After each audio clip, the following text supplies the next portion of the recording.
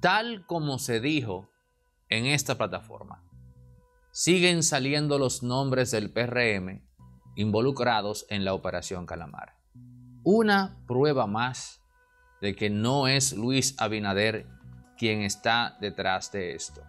Y ahora surge el nombre de Sergio Moya, diputado del PRM, a quien cariñosamente en la estructura de Ramón Emilio Jiménez se le conoce como, o conocía como Boris. Y aquí tenemos que señalar algo sumamente interesante. El PLD ha estado acusando al gobierno de beneficiarse de capitales de sectores oscuros. Ahora, cuando usted me habla a mí de que hay un empresario que está recogiendo dinero de bancas de apuesta, de lotería, porque se hizo un arqueo para saber cuáles estaban operando de manera legal y cuáles de manera ilegal. Entonces, usted me dice que Donald Guerrero, según dice lo que se ha filtrado, estoy dando la información y la estoy mezclando con la reflexión. Oigan bien, el PLD acusa al PRM de recibir dinero ilícito, fuente de organizaciones oscuras que tienen que ver con la venta de sustancias controladas o ilícitas. Pero ahora lo que sale es que Donald Guerrero era el último beneficiario de una estructura que se encargaba de extorsionar a las bancas de apuesta. Entiéndase, oigan esto. Esta estructura hizo una especie de estudio de mercado en el cual determinó y precisó cuáles bancas estaban operando con permisos y cuáles no en el ámbito um, deportivo, en el ámbito de juegos de azar y también con el tema de las máquinas tragamonedas. A las bancas que estaban operando de manera ilícita o al margen de la ley, se les comenzó a extorsionar y las sumas que se recolectaban andaban por los 37 o 40 millones de pesos mensuales. Hasta ahí va la noticia. Ahora la reflexión. Donald Guerrero, bancas.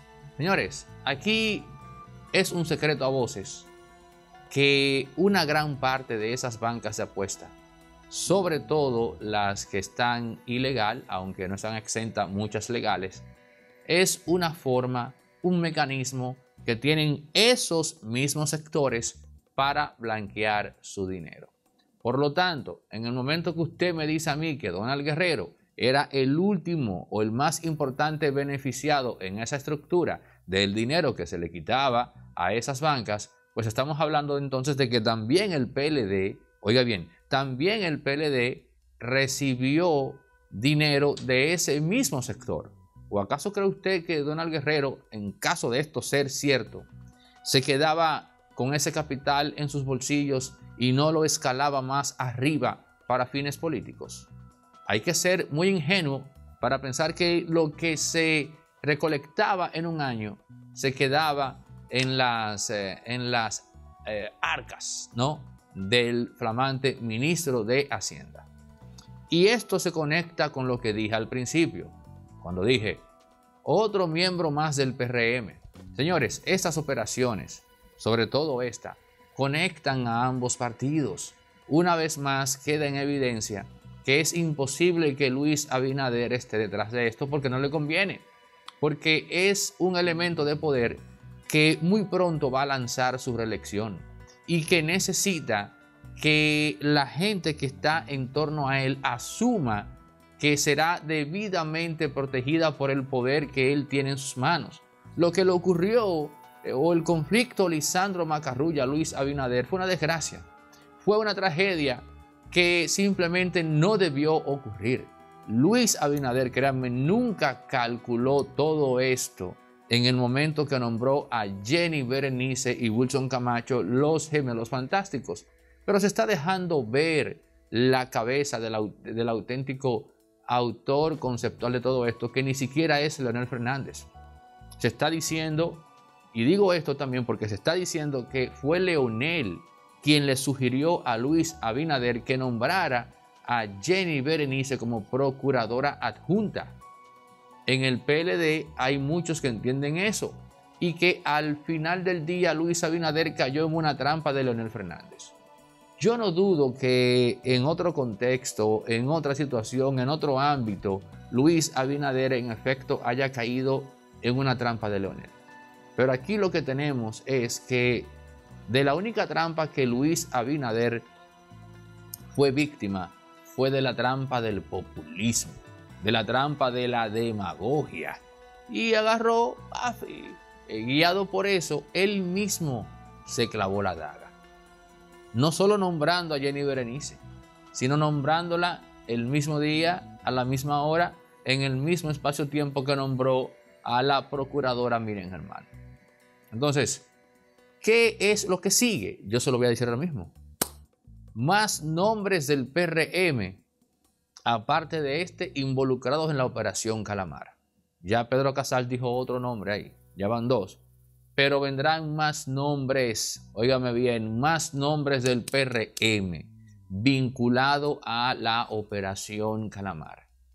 Lo que estoy viendo, adelantándome, es que este asunto de la justicia independiente va a acorralar totalmente al sistema de partidos políticos en República Dominicana. Y pueden ocurrir dos cosas la destrucción total del actual orden político vigente o que en medio de ese proceso de erosión de los que ya están surja algo nuevo, surja algo diferente. Una de dos. No veo término medio en este asunto. Solo una de las dos que les acabo de describir. Mientras tanto, un diputado del PRM Dice la prensa local, fruto de la filtración del expediente, del interrogatorio más bien, del interrogatorio como tal. Sergio Moya, diputado del PRM, supuestamente bailando en esa estructura. Y yo digo que faltan más nombres por salir. Farmacia Medicar GBC es la farmacia de los dominicanos abierta de lunes a domingo con los medicamentos a un 20% de descuento y tienes una farmacia Medicar GBC prácticamente en cada esquina de la metrópoli. Farmacia Medicar GBC es la de nosotros los dominicanos. Nadie te hace millonario más fácil que Lotedon invirtiendo solo 20 pesos. Puedes con solo pegar cuatro números llevarte 25 millones. Es el agarra 4 de Lotedon. Nuevos proyectos en Resorte Media, Cine Pendiente y La Quinta Pata. Vamos ahora a disfrutar de un capítulo de Cine Pendiente, pero les recuerdo que pueden eh, suscribirse en La Quinta Pata justo ahora entrando encima de este link que dejo en mi dedo. Pueden entrar a La Quinta Pata y suscribirse. Vamos a estar compartiendo con ustedes capítulos tanto de La Quinta Pata como de Cine Pendiente en diversos eh, comentarios acá de Impolíticamente Correcto, el otro canal donde se cae el show, T-Radar, en fin, entren y suscríbanse en ambos canales, continuamos creciendo gracias a todos ustedes. A mí me parece que el éxito de esta franquicia de John Wick radica en el hecho de que combinó esas dos cosas, o sea, eh, toma parte de, lo típico de, de estas películas de acción. Todos los códigos, check. Pero se burla también. Es deliberadamente películas que son una, hipérbole de la acción y lo que importa es eso que está pasando ahí. Y eh, usted tiene que entregarse a ese, a ese tipo, a ese tipo de trama o, negarse. Si usted no, si usted no entra en esa, pues va a ser la película más horrible de la historia. Es un, un ritmo que te permite estar pendiente de lo que está pasando en todo el tiempo y tú no sientes que tú estás viendo una película de casi tres horas ellos han creado como todo un mundo alrededor de ese personaje donde, donde hay como una estructura que, a la que él pertenece como, como, como sicario. Sí. Y, hay, y hay una serie de reglas que, los sicarios tienen que cumplir y se rigen por un código. Y si tú violas ese código pasa esto. Y si, y si tú eh, violas tal regla pasa tal cosa. Entonces eh, ellos se, se, agarran de ese tipo de, de narrativa para poder crear un, un mundo alrededor de este personaje.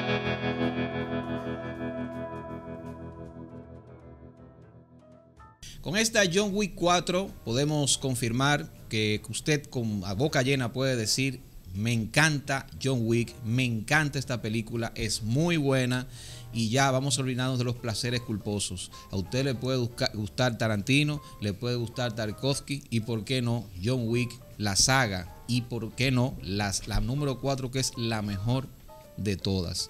Eh, estamos aquí para comentarla, eh, para, para, desmenuzarla. Eh, Diana Costa, ¿qué usted piensa de John Wick 4? Es increíble porque hemos visto dos películas que nos han gustado consecutivamente. ¿Cómo hemos oh. cambiado? Oh, wow. La gente, el, público estará estupefacto. Dirá, oh, Dios mío, ¿qué le habrá pasado a esta gente? Se Hasta yo. Yo creo que el ir al cine sin ningún tipo de expectativa también ayuda mucho. Cero expectativa, o sea, más uno que tiene que, por el deber, ¿no? Yo dije, bueno, dos horas 49 minutos, tú sabes. Es larga. Que sea lo que Dios quiera que pase lo que vaya a pasar. Pero fue Spielberg que la dirigió. Dos horas 49 minutos. De John es, es, correcto. Sí, señor. Producida por Belatar. y ustedes creen, y ustedes creen que, que y uno se asusta. Yo, yo dije, el diablo, tres horas. Sí, tres horas. De hecho, para, para grabar el capítulo de hoy tuvimos problemas porque era, era un eh, compromiso muy grande. O sea, tres horas.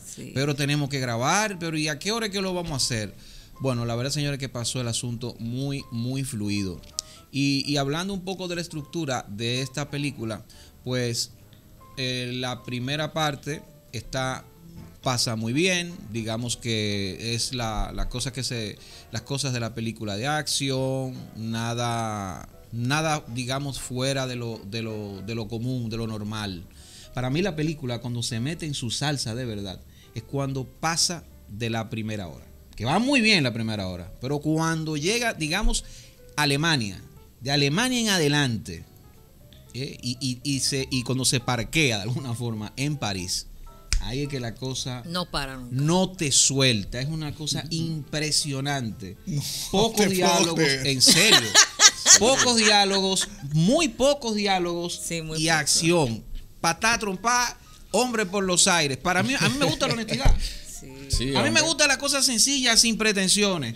Esta película va al grano. Esto es golpe, esto es golpe, esto es golpe. Eso es una épica de acción.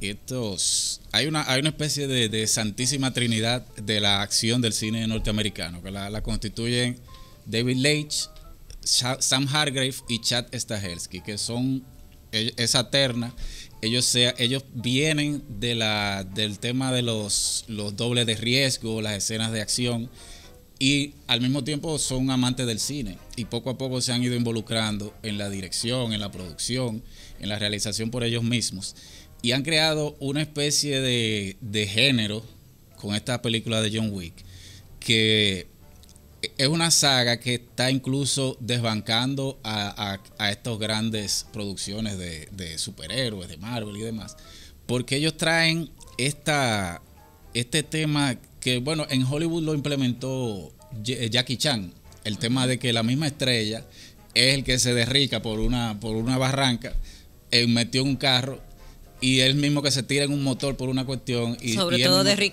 y se entra a pecosar con los con los dobles la misma, el mismo actor que hace las, las no, No, usa doble para eso. Exactamente. Entonces, eso le da un, aire diferente a la película porque la, generalmente cuando hay un doble de riesgo, tú tienes que hacer un corte para que no se le vea la cara, tienes que hacer. Pero esto, esto permite hacer nuevas, nuevas configuraciones visuales para las películas. Porque tú no tienes que hacer cortes, se puede ver la cara porque tú sabes que es Keanu Reeves que está haciendo la escena. Lo mismo está haciendo Tom Cruise con su Misión Imposible. Y le han dado un nuevo giro a, las películas de acción. Aparte de que estos tipos son, son cinéfilos. El, por ejemplo, David Leitch es el director de Atomic Blonde. Oh, que es una película que tiene las mejores secuencias de pelea en la historia del cine deben ser las de Atomic Blonde. La, protagonista usó doble ahí, ¿no? Ella, misma hizo todas las escenas. Ah, eh, Charlize Theron. Por eso pudieron hacer esos planos secuencias. Exacto, hacen unos planos secuencias. Hay, cortes, pero son cortes, no son cortes para cambiar de personaje, sino para, para darle fluidez a, las escenas. Cortes muy sutiles y que por momento te da a pensar que el plano secuencia eh, es que, que continúa, exacto. Son unos cortes sutiles, de, entra en una oscuridad y sale de nuevo y ya hay un corte, pero Es para, para, para poder rearmar la escena. O sea, ¿tú, crees que ellos han, lo que han aportado, parte de las cosas que han aportado al género es eso, esos planos, secuencias de acción. De acción. De acción. De este tipo de películas. Sí, yo creo que desde lo técnico es una delicia. Le ha, le ha dado autenticidad o verosimilitud dentro del mismo mundo que lo plantean, porque ante tanta CGI, eh, toda esa imagen que, se genera por computadora, que, se produce en el post, hay algo de lo artesanal de ese cine de acción, tú sabes, ese cine que, bueno, Jackie Chan, y esa gente, no, no, yo tiro mi pata, ¿cuántas cuánta que tú quieres que yo te tire por minuto? No, yo lo hago. Eh, le brinda a la experiencia eh, del visionado de antaño que uno, uno puede, qué sé yo, creérselo más le da como esa, esa, e, es, muy auténtico todo. Y no es que usted se pueda eh, identificar con ellos porque nadie se puede identificar con John Wick. Pero, ¿tú me entiendes?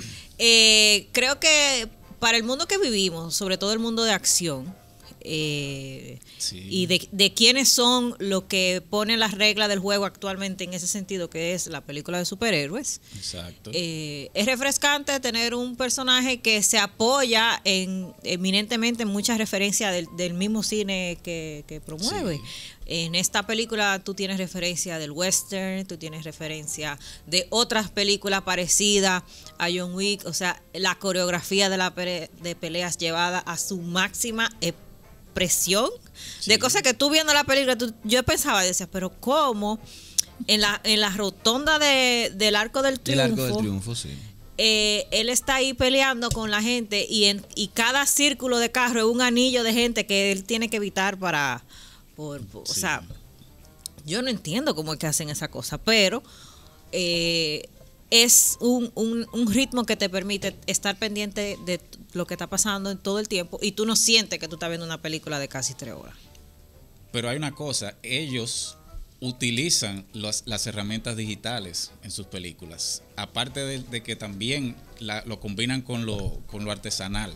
No, obviamente, obviamente que ellos tienen efectos especiales, pero que no es solamente eso. Sí, no te, no No, es solamente eso. Inclusive eh, prescinden de los diálogos, prescinden de, de, mucho bla, bla, bla. Ahí lo que se no va... No hay drama, no hay drama tiene su drama, pero, pero él, lo que importa es que él logre la meta que le entregaron. Si es recatar a fulano, si es matar a fulano, él lo que va a hacer es eso. Poco importa lo que piense de la vida. la familia, como, eh, rápido, y furioso. Ay, no, nada de eso. No, no, no, nada de eso. No tiene un mensaje, no tiene un mensaje. ¿Qué mensaje? Es lo que es un tigre que da pata voladora y un tigre que se ve bien en ese traje negro también, que es importante resaltarlo es. y tiene, tiene algo, eh, algo quizás, eh, yo no sé si, si ellos en algún momento lo habrán expresado, pero deben tener alguna influencia tarantinesca porque ellos plantean la violencia. ellos, plantean la violencia tal cual y, la película va al grano. Esto es piña de principio a fin. No se guarda nada. El problema es que si hablamos de influencia tarantinesca, hablamos entonces de todas las influencias. Tarantino es un fanboy, entonces como un fanboy está influido de cualquier cosa y de toda cosa a vida y por haber.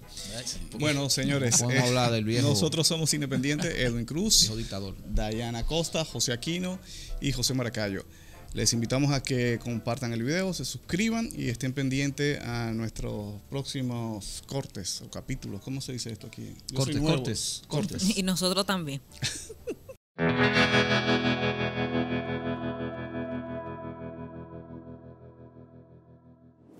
Tenemos un apartamento en venta en los clasificados en la Avenida Independencia, kilómetro 9, en Buenos Aires del Mirador, un tercer nivel con 118 metros, tres habitaciones, la principal con baño eh, tipo jacuzzi y walking closet, habitación secundaria con amplio closet con diversos departamentos, con gavetas y organizador de calzados, un cuarto de servicio con su baño, área de lavado, escaleras de emergencia, calentador de agua, despensa para ropa blanca, hierros, toldos, shutters, cómodas escaleras, un parqueo techado, gas común por medidor y la luz 24/7.